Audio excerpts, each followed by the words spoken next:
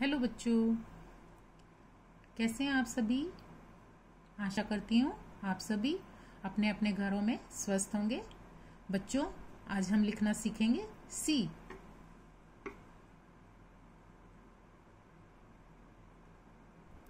ये हमारा बन गया सी सी फॉर कैट लाइनों को समझेंगे। फ़र्स्ट लाइन है हमारी रेड कलर की।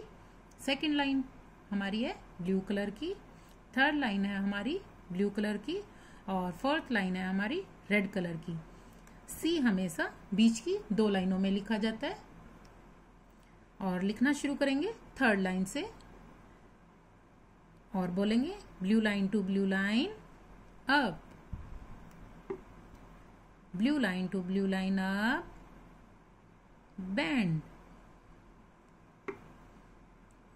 Blue line to blue line up bend, round up.